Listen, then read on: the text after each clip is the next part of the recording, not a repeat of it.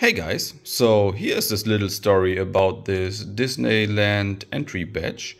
It's basically an arm band which you would wear and every time you enter the park you scan it and also scan your fingerprints and then you can enter different rides as far as I know and the band knows who you are and the system behind it as well. And this one was donated by someone to me, and I'm very thankful for it. But after opening it up, it revealed that there's not only an NFC tag in, which you can see here, this black dot on the right. There's also this NRF microcontroller nearby, which has for once a battery and also a separate antenna with presumably at that point 2.4 gigahertz.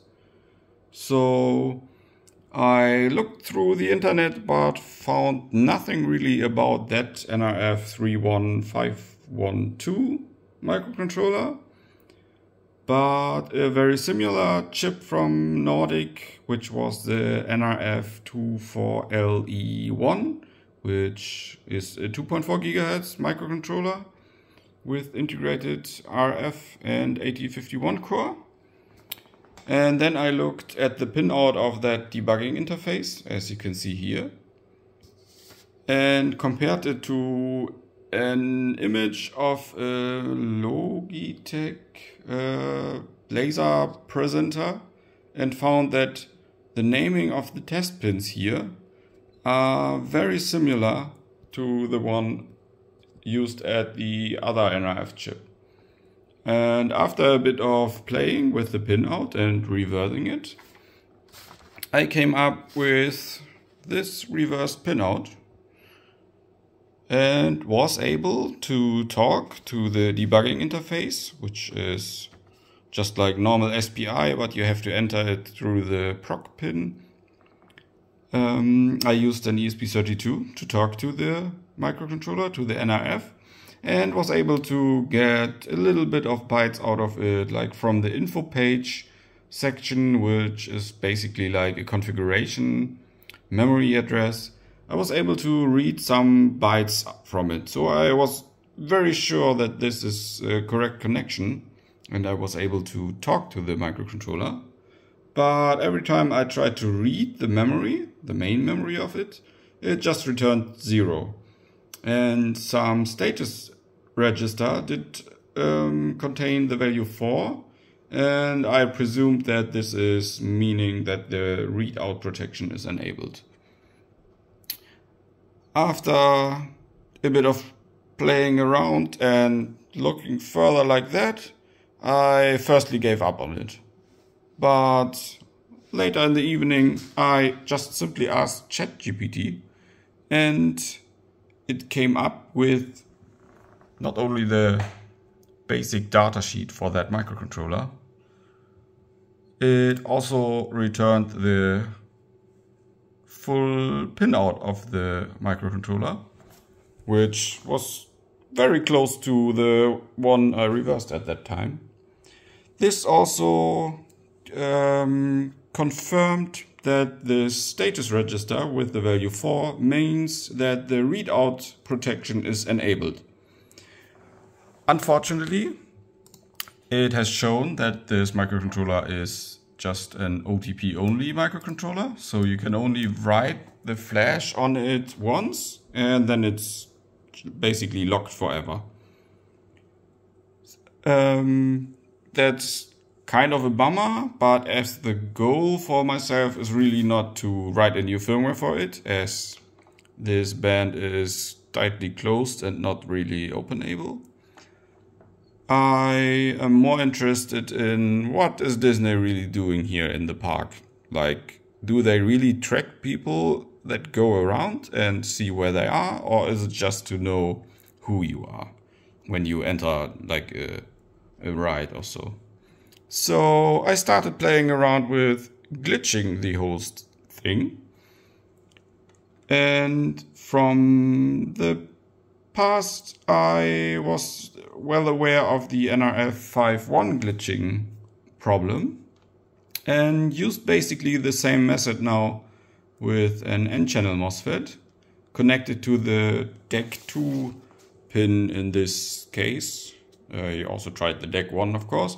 These are mostly the core voltage regulations or core voltage rails and they are brought to the outside to connect a capacitor to stabilize them. So I played around with some very simple Arduino sketch. This does not only include now the glitching part, but also the dumping of the firmware. And it did not look that uh, nice at the beginning. It's cleaned by now. I connected the oscilloscope. We have for once here the blue one is the trigger output of the deck 2 being pulled to ground by the MOSFET. And at the top we have the 3.3 um, voltage rail of the um, whole PCB. And if we now take a closer look at the current consumption, it is now uh, being looked up by this PPK2 from Nordic as well. Uh, we can see that it's now in the normal running state.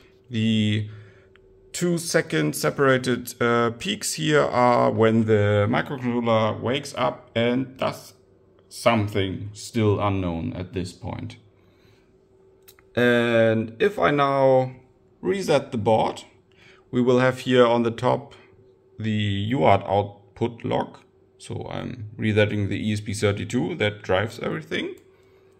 We can see here that it will try to dump or try to glitch it, you can see the current consumption goes a bit up. And also, I will just restart everything. You can see here in a moment, like this, how the glitching is now going, I will just restart it again, going from zero point of boot time over the area where the chip just boots up and does something.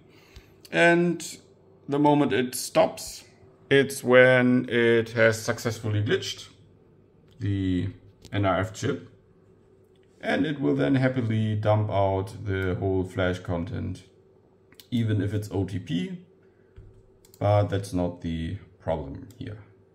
So uh, this is working very reliable by now. So each time I reset it, you can see that after around 4 to 5 milliseconds in delay from boot, it will be happily glitched like so. You can see here the different boot tries and this is the dumping of the firmware. And here as well you can see that the glitch did work out. After that was done, I loaded everything into Geetra, which is a nice reversing tool and especially for 8051 core CPUs. And we got a pretty good reversing or pseudocode already from the decompiled assembler. And this is presumably the main function I haven't had time to look anything deeper than that right now. But that is now the next part to do. And that is really such a nice journey to go from a completely unknown chip because there was just simply nothing on the internet until now, except for ChatGPT knowing the whole datasheet, of course, which will help on the reversing just to a completely open and glitched chip. And yeah, I'm very happy about that.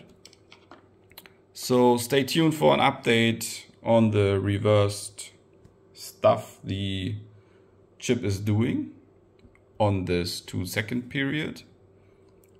And yeah, let's see if the data is encrypted or whatever it is doing there. Okay.